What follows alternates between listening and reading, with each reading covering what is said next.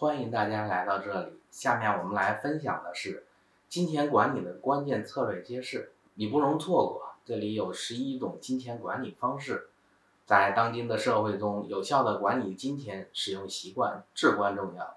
金钱问题不仅是关系到我们的生活质量，还关系到我们的未来生活。为了帮助你更好地理解如何改进金钱管理，我们将分享以下十一个关键的要点，它们覆盖了金钱管理的方方面面。无论你是希望储蓄更多，降低支出，还是找到更多的赚钱机会，这些建议都会为你提供宝贵的指导，让你在金钱管理的道路上更加的自信和明智。介绍金钱使用习惯的改善清单。首先，了解需要改进的方面。这个清单可以包括如节省、投资、储蓄、还债等多个方面，以帮助你在财务管理上有更好的规划。选择清单中的一项改善，你不必感到不知所措，因为清单上的每一项并不都是必须要立刻实行。选择其中的一项，专注于改进它，这将有助于提升你的金钱使用习惯。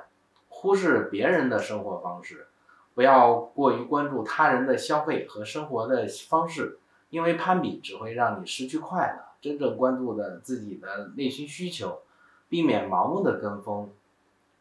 区分必需品和非必需品，将支出分类为必需品和非必需品，确保你的基本生活需要得到满足，同时控制非必需品的支出。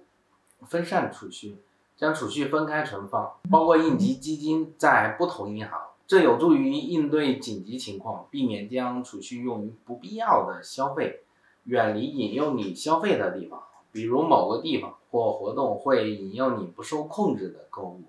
应尽量的避免前往哪里，以减少不必要的支出。自动化生活将一些重复性任务自动化，比如说账单支付和储蓄，这有助于降低财务的管理的负担，确保支出得到管理。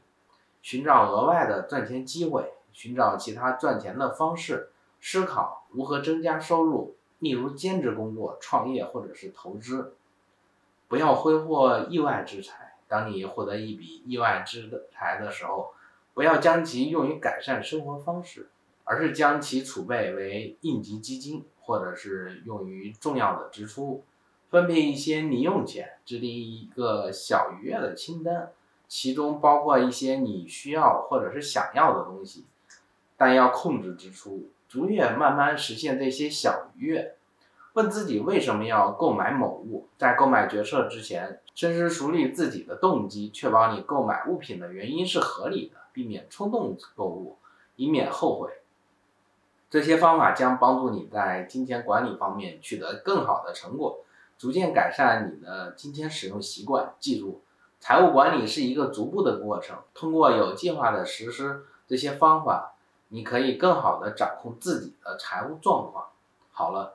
如果你渴望成功、追求梦想，那就请订阅这个频道、点赞、分享，让我们一起启程吧。